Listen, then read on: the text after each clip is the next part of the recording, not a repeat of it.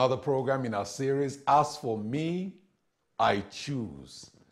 I want to believe that the Lord has been blessing you all through the series as you and I have been taking a walk through Scripture, seeing God's wonderful plans for our lives, seeing God's wonderful promises for our souls, experiencing the joy of being in a relationship with God that will bring peace, that will bring joy, that will bring blessings forevermore. As we conclude our series, our message is As for me, I am the chosen. And it's taken from the book of Deuteronomy, Deuteronomy chapter 7, and we'll be reading from verses 6 to 8. Deuteronomy 7, from verses 6 to 8.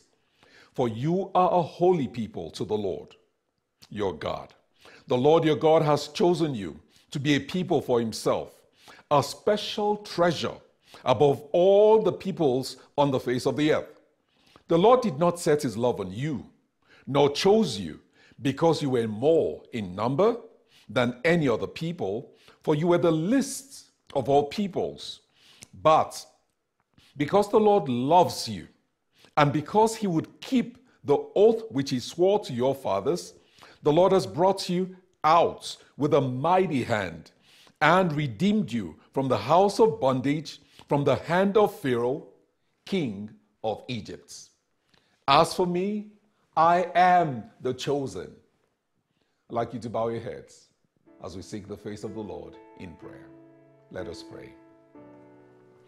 Almighty God, we thank you for your amazing grace, for your wonderful love.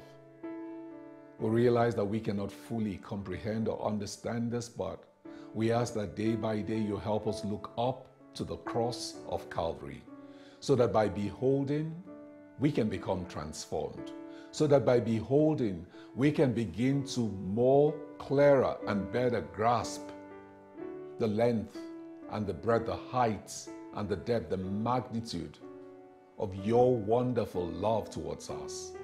And as we grasp it, dear Lord, may this love transform our lives. May it draw us closer unto you. We're back once again to listen to your word. And Father, our prayer is that you would bless your word upon our hearts, that it will bear fruit that will please and glorify your name. We ask that you be with your servant as he speaks, that the words of my lips shall bring glory and honor and praise to your name, that our gathering together shall be also to your pleasure. To this end, we pray that you will speak and we shall be blessed. In Jesus' name, amen. A few years ago, a contemporary gospel musician named Lauren Daigle came up with a song that became so powerful and so popular. A song that many could identify with in so many ways. The title of a song which won her awards on the contemporary gospel music platform, Dove Award, was entitled You Say. And the chorus goes this way You say I am loved when I can feel a thing. You say I'm strong when I think I am weak. And you say I'm held when I'm falling short. And when I don't belong, you say I am yours. And I believe, yes, I believe, I believe that I am the chosen. One thing that the Bible teaches clearly is about the special relationship that God had with the Israelites, a special relationship which Moses tried to make them understand the purpose for which they were loved by God. In the passage we took our scripture reading, God made the Israelites understand that the promised land was going to be their inheritance, their possession. Not because they were the smartest of all the peoples, not because they were the greatest, not because they were the strongest, not because they were the best. Indeed, he says, you were the least. And despite your position, despite your status, despite who you really were, God chose you because He loved you. Because He loved you. And the love of God, Jeremiah tells us, in chapter 31 is an everlasting love. One that knows no limit, that has no boundaries, that can only be described as from east to the west, infinity. That's the love that God has for his children. And everyone he calls, he calls for a purpose. Oh, there's this passage that you and I love so much in Romans chapter 8, verse 28. But preceding that passage is the verse that Paul writes to the church to help us know our status. Remember Romans ch- chapter 8? That's a passage that begins with, There is therefore now no condemnation for those who are found in Christ Jesus, who walk not after the flesh, but after the Spirit. Hallelujah. And that is the status that Jesus wants you and I to have. No longer under the dominion of the law of sin and death, but now we're under the control, the direction of the law of spirit and life, which is found in Christ Jesus. No longer condemned, but now accepted. No longer under a sentence, but now set free. No longer guilty, but purchased with a price, a price more precious than silver or gold. That's who we are redeemed, restored, freed. That passage begins with no, no condemnation and ends with no separation. But in between, God wants his children to understand that special relationship he has. There's a lot in that passage, but that's another sermon. But Brother Paul says in that section, he says, For those who God called, he predestined. For those who God predestined, he predestined for salvation. We're called. We're predestined. We're special in his eyes. We're his elect. Amen. Amen. God's special treasure. Did you hear it in the passage we read? Deuteronomy chapter 7. It says there in verse 6 God called you, the Lord our God has chosen you to a people for himself, a special treasure above all peoples. A special treasure. The word in Hebrew, segula, means the most prized possession a person can ever have. That's who we are in God's sight. When God looks down from heaven, He doesn't notice the buildings. He doesn't notice all that man has constructed. All he's looking for are those who are his own. They are his special treasure. Special treasure. What you will die for. kind of reminds me of a story. Many years ago, I heard how some thieves, desperate thieves, broke through a house, used some cement, uh, used some uh, acid mixture, poured it on the cement, were able to make a hole through it. And they got into this house and they robbed this woman. And when folks heard her crying later, guess what she was more concerned about? The thieves had gone off with a lot of wealth but for her, the most important, the most prized possession that they went away with, you guessed it, her jewelry. Her jewelry was most important to her. That's the one that hit her the most. Well, people may prize their jewelry. Some may treasure their cars. Others, it may be their mansions. Others, it may be their paintings. But for God, his precious treasure, his most prized possession is you and me. We are the chosen. We are God's chosen. Precious in his sight. No wonder Paul could say right into the church in Ephesians, you know who you really are? Do you know who you really are? You are God's workmanship. You're God's masterpiece. Amen. Somebody says, you know what you should do? You know what you should really do? You should take a selfie of yourself. And when you take the selfie, make it bold, enlarge it, frame it, put it on the wall, and there put the prize made by God. Hallelujah. That's who we are, made by the Most High. A few years ago, a few years ago a painting by Michelangelo sold for 450.3 million US dollars. Let me take that again slowly so that you hear me. I didn't say 4 million. I didn't say 45 million. I said 450.3 million US dollars. A painting by Michelangelo, bought by Saudi prince. A painting called the Salvator Mundi. Jesus, the Savior of the world. In that painting, you find Jesus holding an orb in his hand, in his left hand, and he has his hand raised up in blessing. A painting that costs 450 million US dollars. And why did the painting cost so much? Why was it so valued, so treasured? It's believed that this was the last painting by this great painter, Michelangelo. A man was multi talented, a painter, an artist, an architect, a sculptor. So the last work from this great man cost so much. And so, what do you think a painting of me should cost? Mm-hmm. If I was made by God, then how much am I worth? More than silver or gold, more than diamonds or rupees or rubies,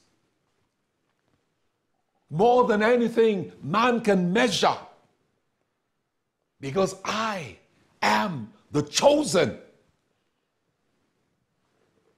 Yes, my brothers and sisters, that's who we are in God's sight.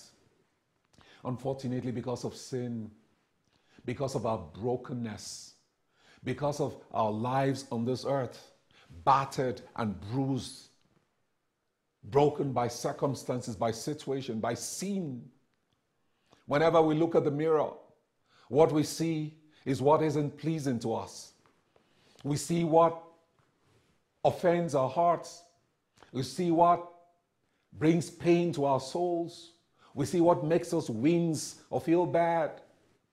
But what God sees is value. What God sees is worth. What God sees is through the lenses of His love. What God sees is Christ covering you and I. Chosen, precious,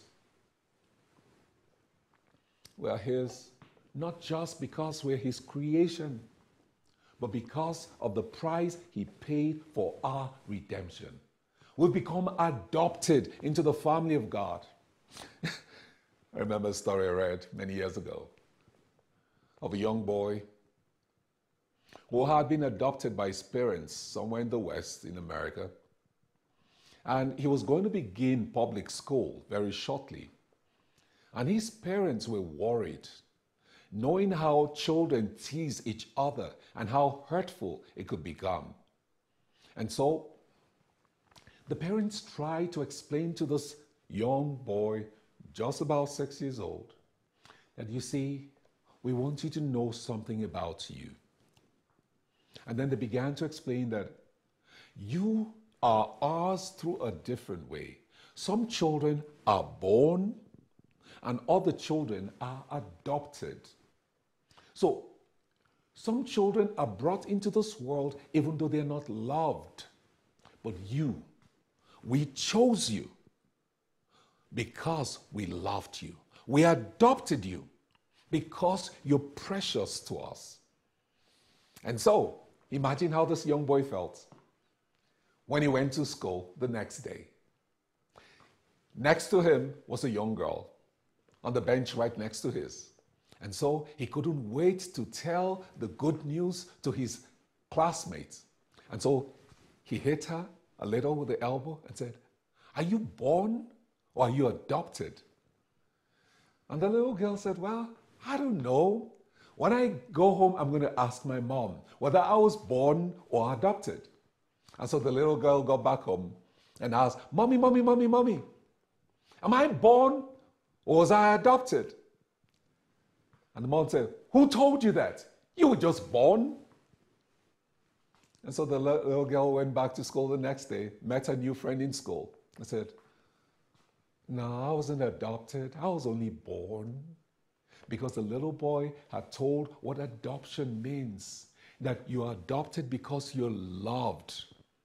You're not just born by parents who you are a bother to, but you are loved, you are chosen. Amen. That's how we are in the sight of God.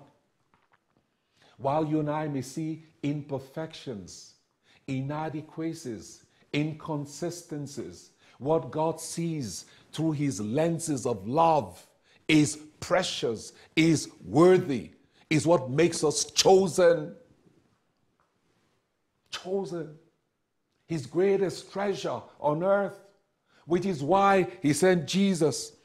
He sent Jesus to die on the cross for us because we have value in his sight. We're precious unto him. Because you see, my brothers and sisters, the value you have for an object is what determines its worth. And so often, when we get things that we don't deserve, we don't know their value. Did you hear the story about the young boy? Young boy whose father had a problem I went to the pastor and said, Pastor, I don't understand this, my son. Father was a millionaire, bought his son a brand new car. Within the next few months, the car was a wreck. The father took it back, bought another one, and gave to him. It didn't take too long again. He had another accident. And the father said, Listen, I don't understand. These cars are expensive. And the pastor said, You know what the problem is? It's because he doesn't understand or value or appreciate the car. So don't replace it for him. Let him get a job. Young man got a job began to earn his money. And after a short time, he was able to save enough to buy a 25 year old car. And this young man bought this car. And when he bought this car, he loved the car. He washed the car regularly and would wax it so that it could shine. And the father couldn't understand. I bought him a brand new car. He wrecked it. He bought a car that is 25 years old and so cheap, and he loves it. And the, father, and the pastor said, It's because he, he knows what he spends on that car. What is your value? What is my value? The value we have in the sight of heaven is the price that Jesus paid on the cross. More precious than silver or gold more valued than ruby or diamonds or platinum or whatever measure. That's what God has made you and I to become. Adopted. Adopted. In 2 Samuel, we learn the story of David. David, after all the travails and the trials David finally becomes king of Israel. Saul had done everything, everything within his power in order to keep David from becoming the king. Indeed, he sought several times to end the life of David, but God preserved him. God protected him. Finally, David becomes king. But David remembers. He remembered the covenant he had made with Jonathan, the son of Saul. Jonathan and himself had made an oath that whatever the future would be, they'll be kind unto the others. Family. So 2 Samuel chapter 9 tells a story, a unique story, of how David, now on the throne, asked the question, chapter 9, verse 1. Now David said, Is there still anyone left of the house of Saul, that I may show him kindness for Jonathan's sake? And one of the servants of Jonathan was called, and he said, Yeah, there is. And he said, Is there not someone still of the house of Saul to whom I may show the kindness of God? And Ziba said to him, verse 3 There is still a son of Jonathan who is lame in his feet. The story is of a man called Mephibosheth. Mephibosheth was a young boy when Saul, his grandfather, had gone out into battle. Mephibosheth and his nurse were there when the news came that Saul and his army had been killed. And the tradition in those days was the moment the king was dead, any contender to the throne would make sure he eliminated any relative of that king who was dead so that the pathway to becoming the new king could be assured. And so when the nurse taking care of Mephibosheth heard this, she picked up the little boy and began to run. Unfortunately, she fell, and in falling, the leg of this young boy broke. And from that point in time, Mephibosheth became lame in his leg. Not knowing what the situation would be, not knowing the heart of King David, believing that David, like other people, would be vengeful since Saul had done everything within his power to wipe out David, they felt that the safest thing to do was to disappear completely. And so when David asked, Where is he? Ziba said to the king, Indeed, he is in the house of Makir, the son of Amiel, in Lo Debar. Bible scholars struggle to be able to tell us the precise location of this town called Lo Debar, but all we know is that it was in the middle of nowhere. This man had faded into obscurity. This man, Mephibosheth, who had royal blood in himself, had now become a nonentity, hiding in the shadows, fearing for his life. And imagine his surprise when finally he heard that the king was looking for him. Brothers and sisters, every time you read scripture, I'd like you to put yourself in the place of one of the characters in that passage. Ask yourself how this speaks to you. Imagine that you are Mephibosheth. For over three decades, you've been hiding in obscurity. You've been satisfied in no one knowing your true identity. And then all of a sudden, you got a word that the king wants you immediately. Imagine Mephibosheth being brought before the presence of King David. King David, who had run from pillar to post, from cave to forest, until the only place he could even find safety from the hand of Saul was when he went to serve as a soldier in the Philistine army, serving under Achish. So imagine what he thought would be his end, his reward. And that is when David says unto him, verse 7 Do not fear, for I will show you, surely show you kindness for Jonathan, your father's sake and will restore to you all the land of Saul, your grandfather. And you shall eat bread at my table continually. Hallelujah. A man who expects the sentence of death. A man who believes that he and his family are under a generational curse. Mm-hmm. And now he's standing before the king, expecting a death sentence, condemnation for the sins of his father, rejection because of the past he had had, death and destruction because of the deeds of his grandfather. Yet, what he hears is not a sentence of death, but an announcement of grace. An announcement of grace. The word loving kindness of God, the tender mercies, described that way in the King James Version, actually comes from a rich Hebrew word, kesed, a word that is difficult in interpreting, a word that means love, kindness, mercy, goodness, grace, a word that is rich, a word that is full, a word that is all encompassing. That is God's attitude towards you and I. Grace, undeserved favor, grace, unmerited goodness, grace. Grace because we're chosen. Grace because we're adopted. Grace because of His mercy. Yes, my friends, amazing grace. How sweet the sound has saved a wretch like me.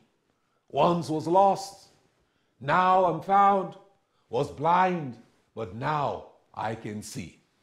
Yes, my friends, it's only grace that can do that for us.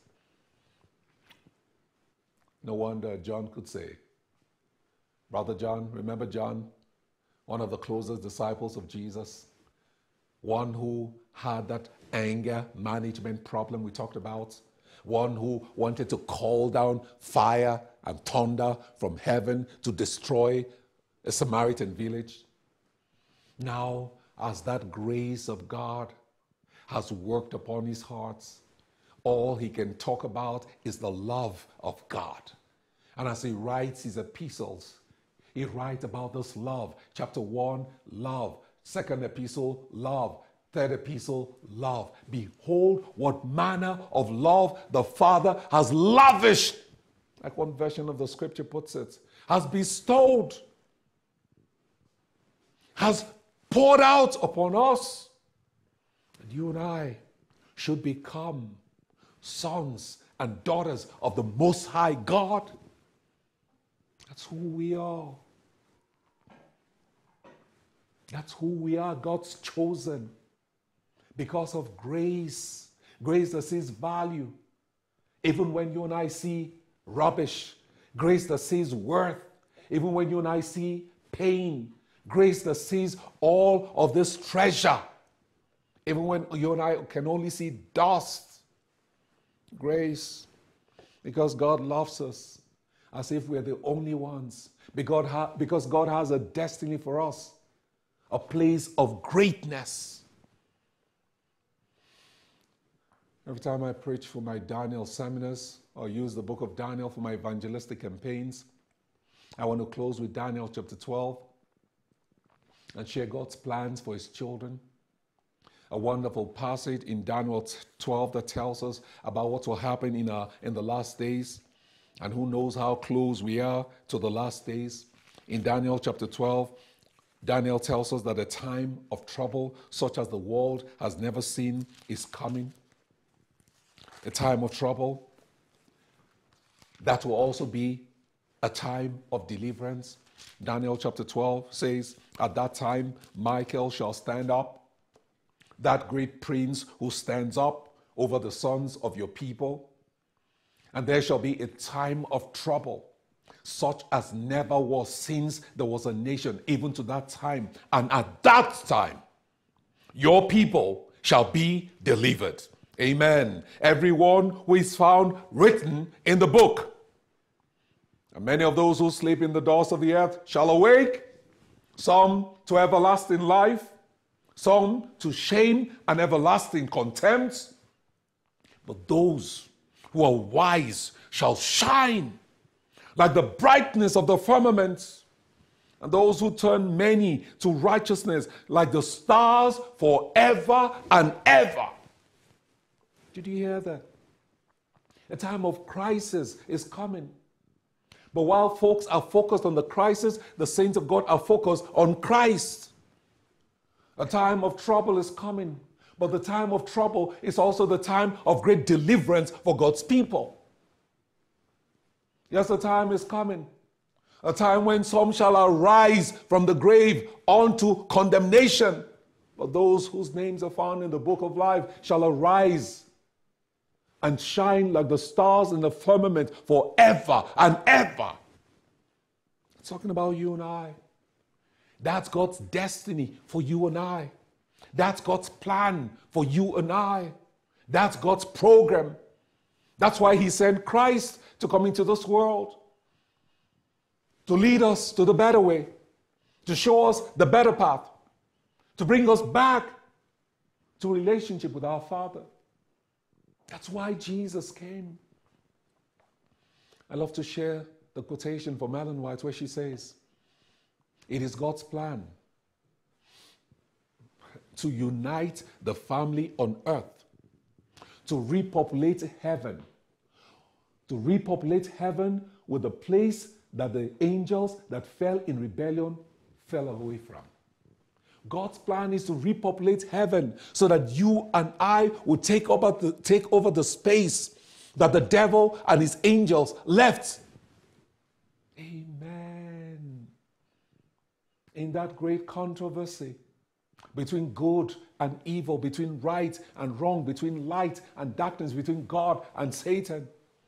The wrath of the enemy is because you and I are appointed to take over the places.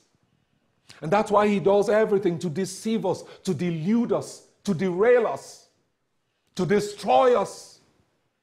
Because you and I are appointed for destiny in the skies. That God wants to repopulate heaven with you and I. We're chosen. Chosen. Called out of this world. To become separate from sin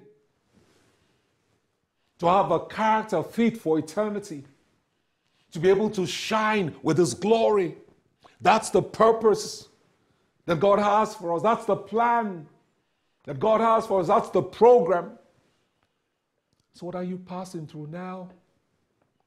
Passing through pain, tribulation, trials, intense temptations, passing through hardship, deprivation, destitution, discouragement, disillusionment, passing through want or nakedness or famine or sword, passing through fire or flood or water or what?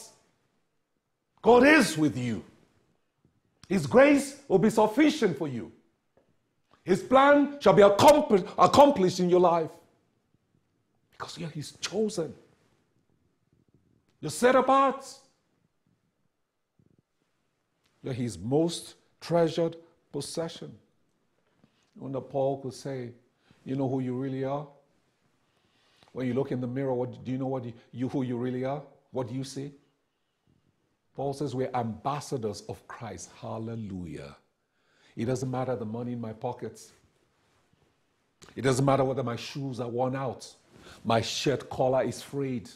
It doesn't matter whether my, my, my, my trousers are too short or my coat is not the right size. It doesn't matter whether I slap, uh, I mean, I walk. I have no car to drive.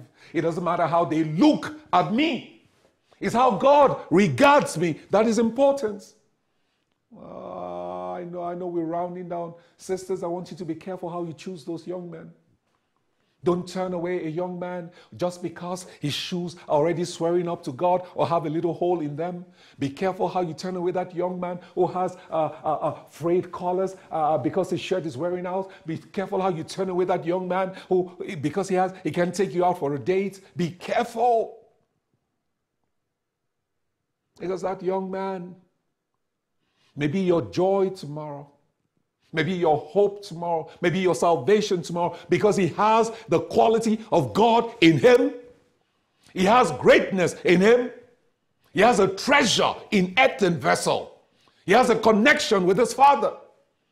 So he may look poor today, but he's a prince. He may be knocked down today, but he'll rise up tomorrow. He may look like nothing today, but tomorrow you'll have everything. It may look like zero today, but tomorrow you'll be a hero. Be a hero tomorrow. Be a hero tomorrow. And to watch out for appearances. We talked about that a few days ago. Uh, I wanted to tell you back then, young man, I hope you're not choosing the girl you marry on Sabbath. Mm-hmm. Because on Sabbath, we all look like saints going to heaven, right? All dressed up and looking nice and prim and proper. But it's only for the trick. But God wants it to be different. That even though the vessel, the vessel is clay, let the treasure, the treasure be within be precious. But we do the reverse, want to dress up the outside, but the inside is corrupt. The inside is rubbish. And we spray perfume all around to mask the fact that we stink But God wants to do it the other way around, from the inside out. Wants to transform us. That's what Paul was talking about. Be not conformed to the world because there's a pressure from outside that wants to make you, mold you, shape you in the image of the world. There's a pressure from, from without. But God wants to work from within, shaping us on the outside, beginning with the Spirit in our innermost parts. One pressure wants to make us conform. The other pressure from within wants to make us transformed so that we resemble our Father. We resemble the one who died for us. Resemble the one who called us out of darkness into his marvelous light. My brothers and sisters, I want you to pause and ponder the wonderful love for God, of God for us. A love that is the theme of songs throughout the ages. A love that cannot be described or explained. A love that must be experienced by all. A love knows no boundaries, has no limits, knows no end. A love that is stronger than death. That's the love the Father has for us. And it's the power of that love, our understanding of that love, that will transform our lives, that will change our ways, that will stop us in our tracks, that will make us know our true worth.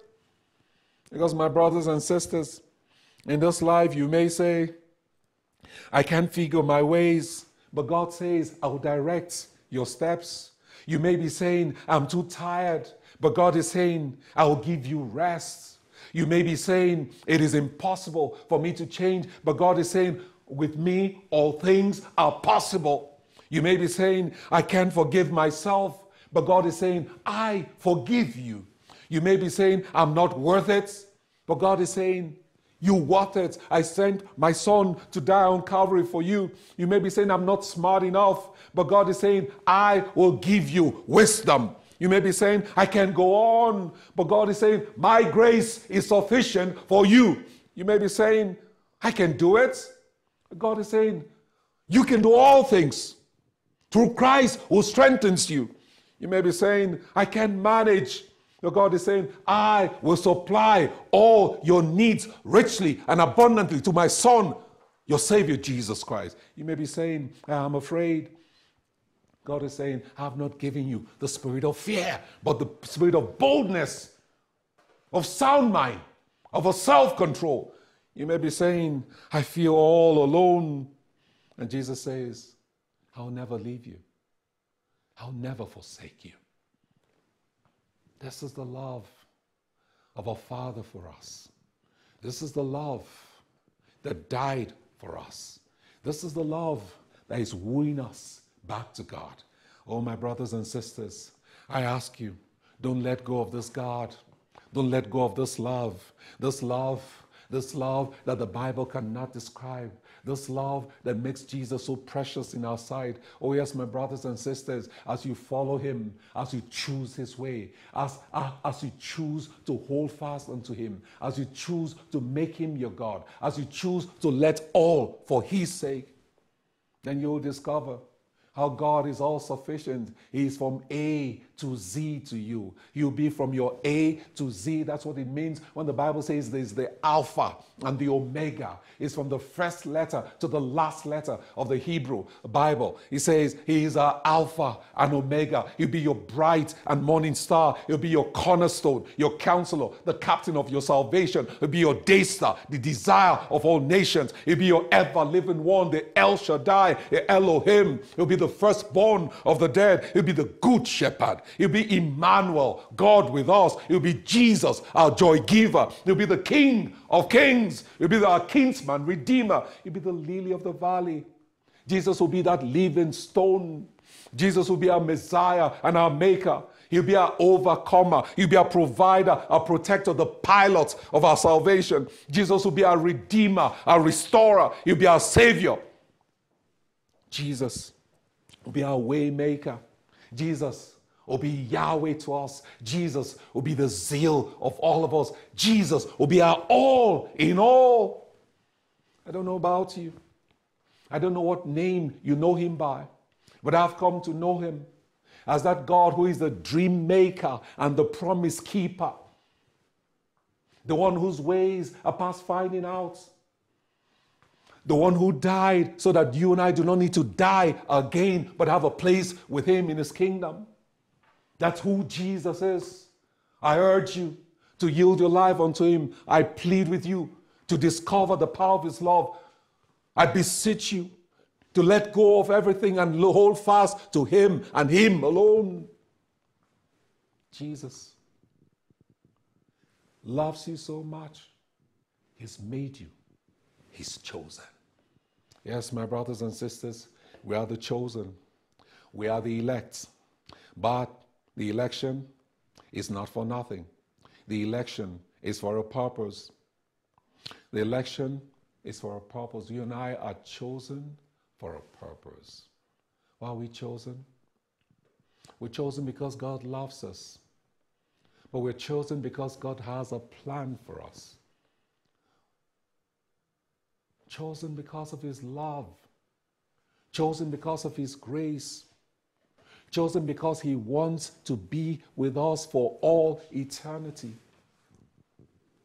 But not only are we chosen for a purpose, we're chosen for mission.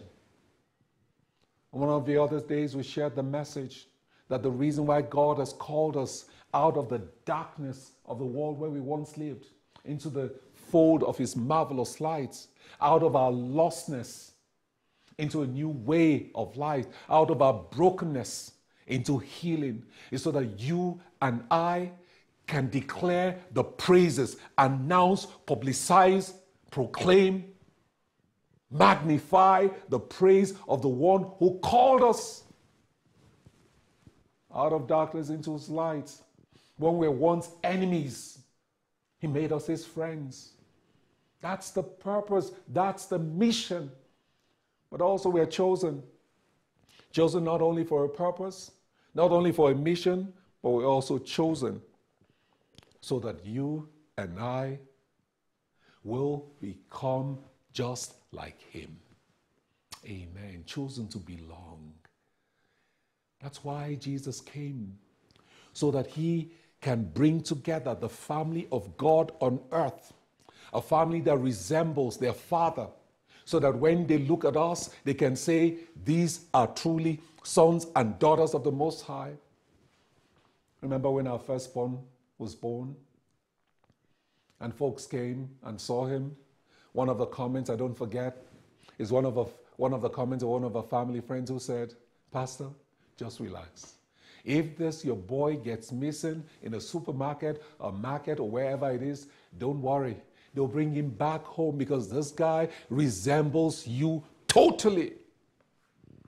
Yeah, the pride of every father is to hear that the son or the child or the daughter looks just like the father. A photocopy, they say. And that's how it was with the saints in the city called Antioch. It was there they were first called Christians. But when they called them Christians, it wasn't necessarily a, a, name of commendation. It was rather a derogatory name that they were like small Christ, baby Christ, miniature Christs. That we resemble our Father totally. We're chosen to belong, chosen to become like Him. Let's round up the service. I ask you, my friends, I beseech you, my brothers, I want you to determine what direction you go. I want you to choose this day. Choose this day what pathway you'll walk. Moses, standing before the nation, chart them. Similarly, Joshua stood before God's people and chart them considering the grace of God upon your life, considering the mercy that God has shown unto you, considering all of God's love and the faithfulness of His promises. Therefore, choose this day whom you will serve. As for me, I choose life. As for me, I choose courage. As for me, I choose to rise up again. As for me, I choose to stand on holy ground. As for me, I choose faith. As for me, I choose contentment. As for me, I choose to wait on the Lord. As for me, I choose the God of war. As for me, I choose to follow holy. As for me, I choose the unfailing God. As for me, I choose to serve. As for me today, I choose God. I choose to follow Him. As for me, I choose to hold fast. And as for me, realize I'm the chosen. As I close, I remember a story I listened to. A story that has been written in a book. A story of the rescue of a lady called Jessica Buchanan. Jessica Buchanan had served as a volunteer to people in Somalia.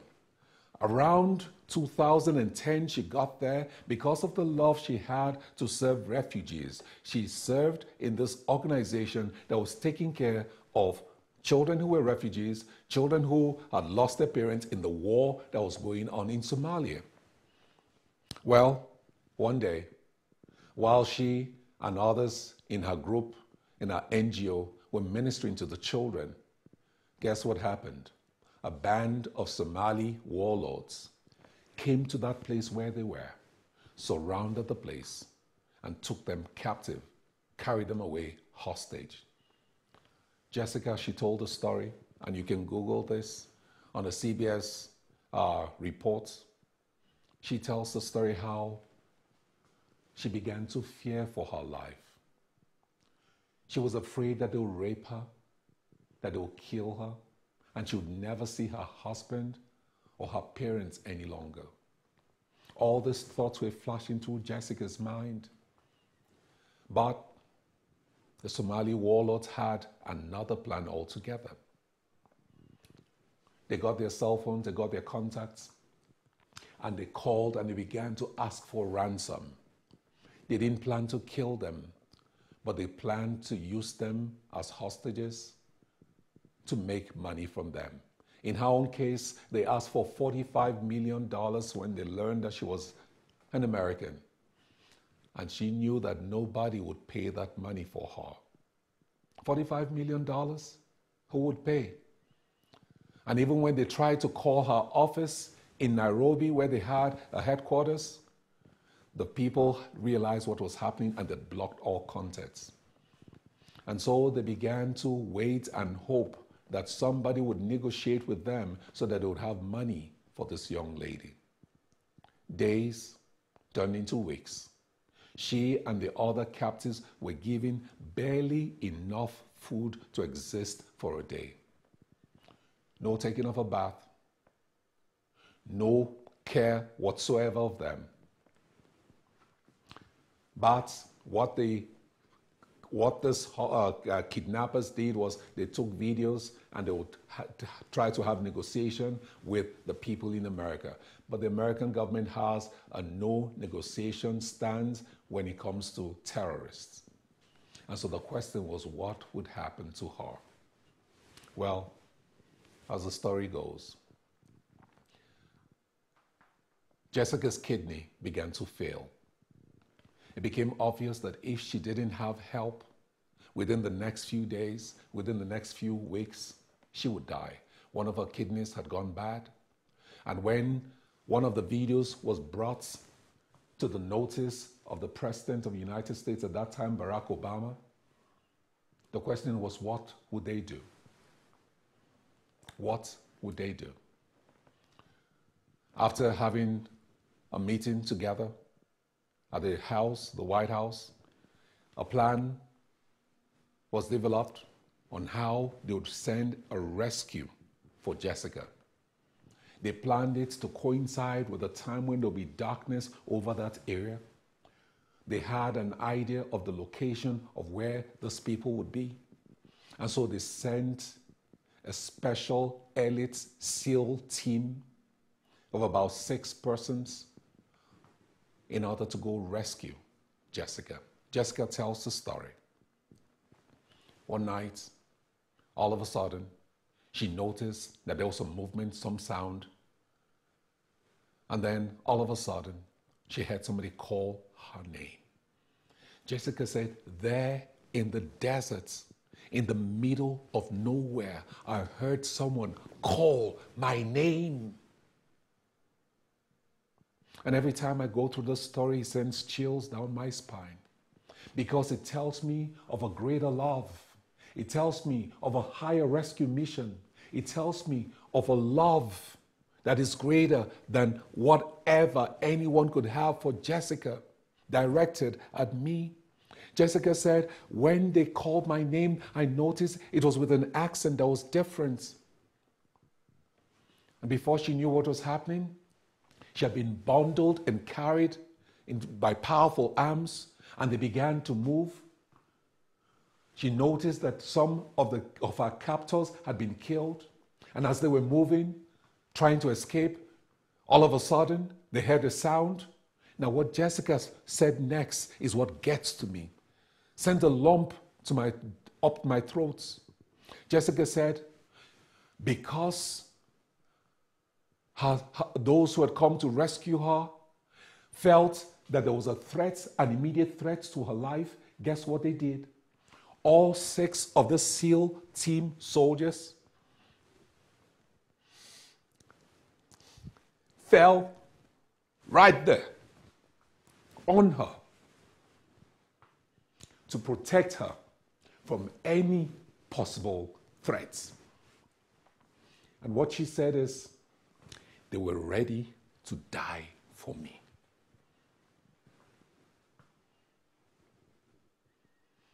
And the interviewer asked us, How did that make you feel? She said she felt special.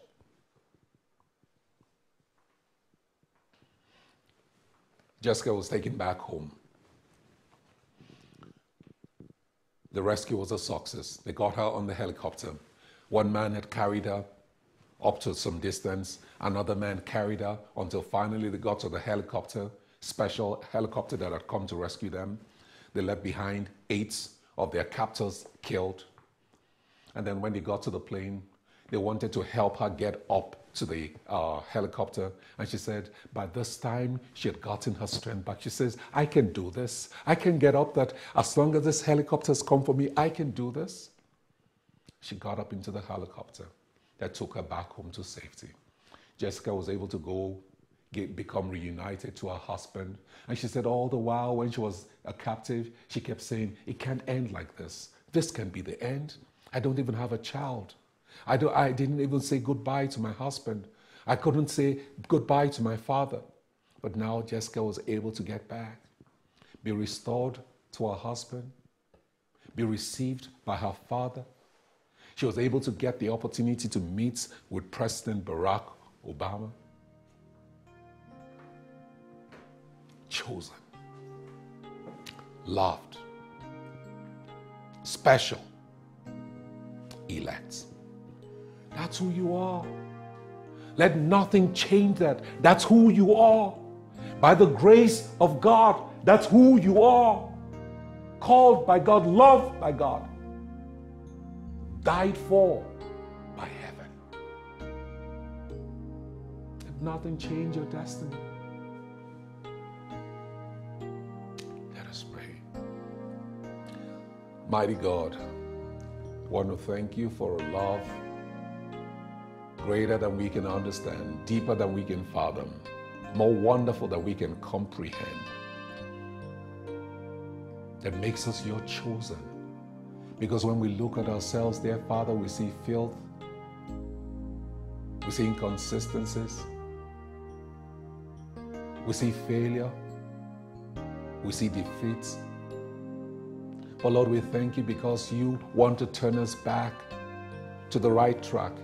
You want to bring us up into heaven. You want to reconcile us unto you. You want to make us part of your family in your kingdom above. And Father, we pray that nothing shall keep this from happening. But as we begin to understand that we are your chosen, Help us, therefore, dear Lord, to be able to go out to do your mission. To be hands to those who need help, to be fit, to carry forth your gospel of peace, to be your hearts that shall feel the pain, the lostness, the brokenness in our world.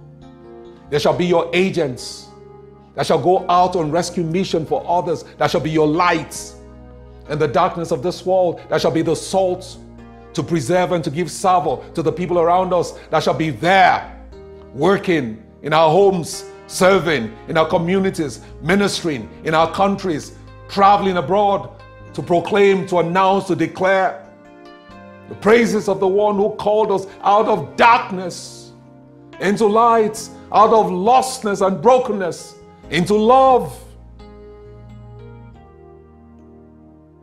Make us yours, we pray.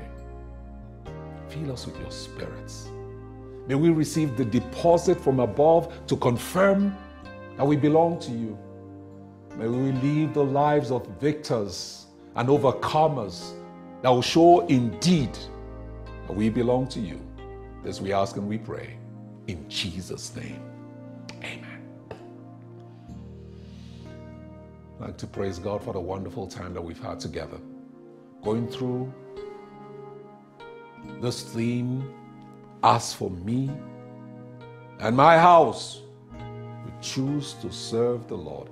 And I pray that the decisions, the choices, the commitment that you've made this week by the grace of God, you shall live by them and you shall lead others to discover this love, this power, this grace, this mercy you and I are privileged to enjoy.